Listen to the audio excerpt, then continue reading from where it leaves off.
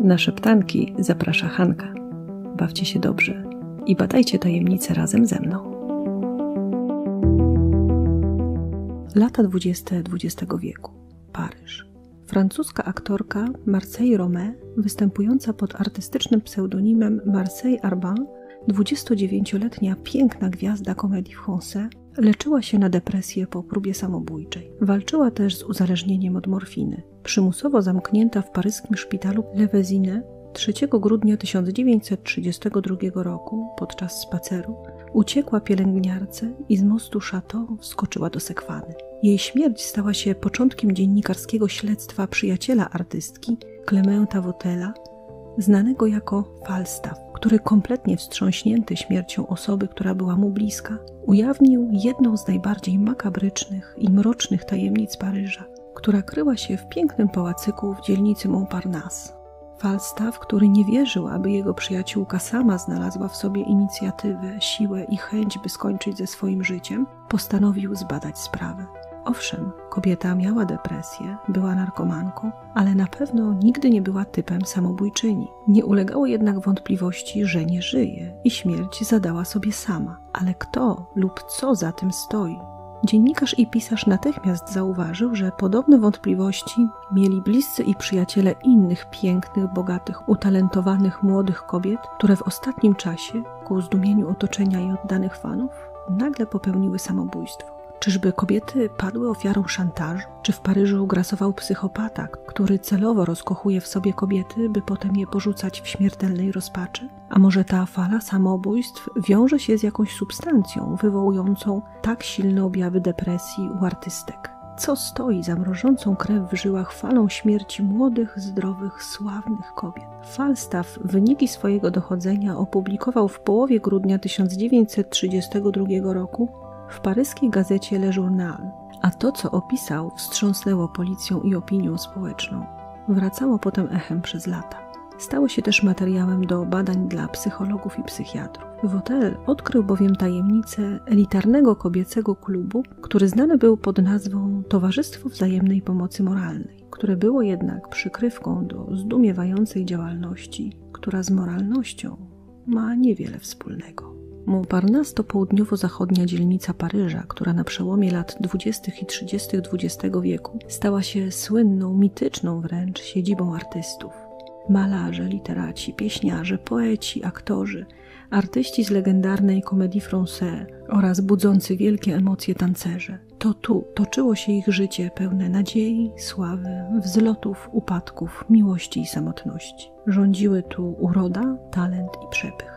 Niestety jednak burzliwe, pełne emocji życie, obsesja na punkcie przejścia do historii, marzenia, by stać się legendą na zawsze, mąciły myśli artystek, którym sukcesów, sławy i pieniędzy wciąż było mało. Albo przeciwnie, zbyt wiele, by to unieść. Sposobem, aby poradzić sobie zarówno ze zbyt małą, jak i zbyt dużą sławą, było często samobójstwo. Z czasem stało się po prostu modne. Jak to możliwe? Szybko zauważono, że o tych, którzy rozstali się z życiem, zaczynano ciągle mówić, przypominać sobie ich dzieła, przebieg kariery. Po śmierci zyskiwali wieczną, zdawałoby się, sławę. Mówiono, że ich sztuka zaczynała zarabiać dopiero po ich śmierci, a może nawet głównie dzięki niej. Najlepiej gwałtownej, dziwnej, tajemniczej i pozostawiającej w rozpaczy rodziny i rzesze wielbicieli dla niektórych artystów dobre i to. Na tym podatnym gruncie powstało Towarzystwo Wzajemnej Pomocy Moralnej. Dodajmy niezwykle elitarne. Do klubu przyjmowano wyłącznie kobiety, które miały mniej niż 40 lat, zjawiskową urodę, a na koncie sukcesy artystyczne bądź choćby były majętne.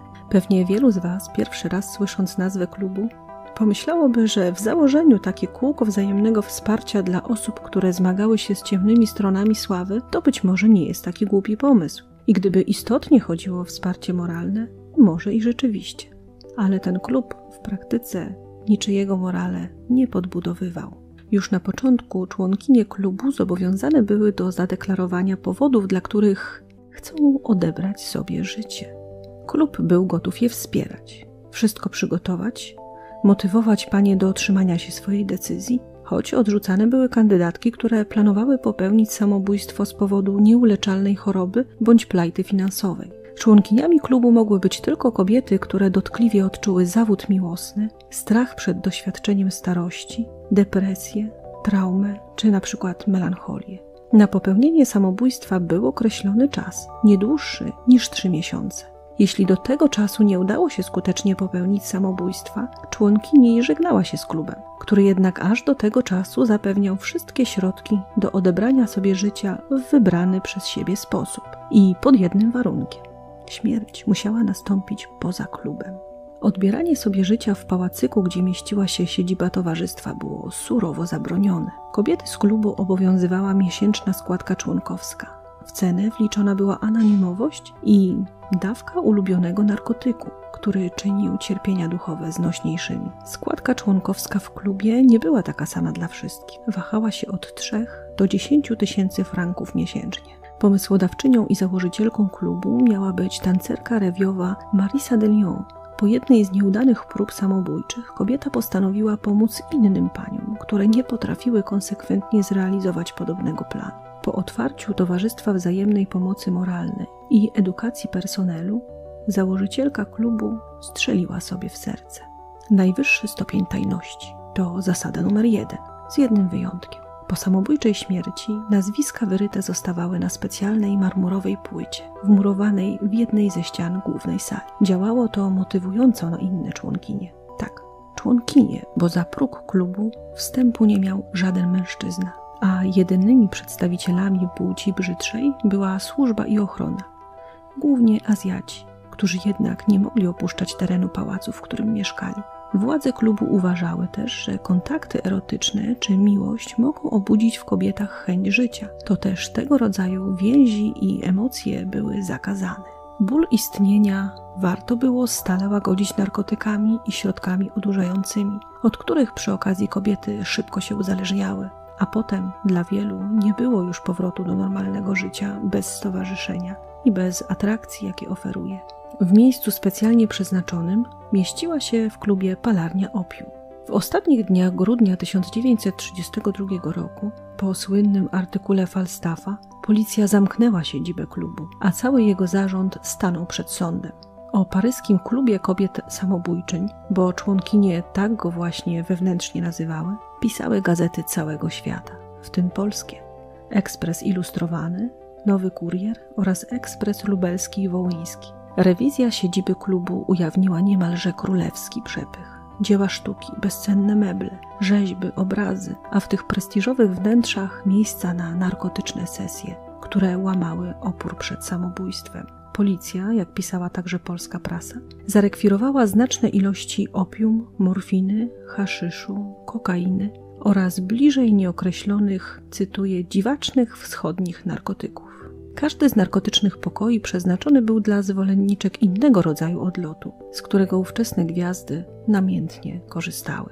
Opinia publiczna była wstrząśnięta, gdy poznała kilka nazwisk kobiet, które zabiły się w klubie samobójczym. Oprócz założycielki klubu, tancerki Marie de Lyon i gwiazdy komedii français Marseille Romé, między innymi były to pisarka Nelly Charmois, baronowa Neville, lotniczka Jean-Marie Roger oraz paryska piękność Ninon Fleury, która tuż przed samobójstwem brała udział w konkursie piękności Miss Paryża 1929. Nie wygrała, ale zyskała sobie uwielbienie wielu fanów. Być może jednak ona sama konkurs uznała za wielką porażkę. Do najbardziej znanych członkiń klubu należały samobójczynie z roku 1928, na przykład aktorka Claude France. Jej ostatni film, Miss Eddie, miał premierę już po śmierci gwiazdy, która popełniła samobójstwo 3 stycznia 1928 roku w swoim domu, trując się gazem. Inną znaną samobójczynią była święcąca ogromne triumfy aktorka i piosenkarka Jenny Golder. Zdjęcia tych kobiet i inne dokumentujące tę sprawę możecie zobaczyć na Facebooku Szeptanek. Oczywiście link w opisie. To już koniec tej zdumiewającej i tragicznej historii. Jak myślicie, czy sława była warta poświęcenia swojego życia? A ja tymczasem dziękuję serdecznie za kolejny wspólny seans i z utęsknieniem czekam na następne spotkanie z Wami. Jestem wdzięczna za każdy sygnał zwrotny od Was i tradycyjnie proszę o polecanie podcastu, który bez słuchaczy nie może istnieć. No, oczywiście, jeśli sądzicie, że warto. Do usłyszenia.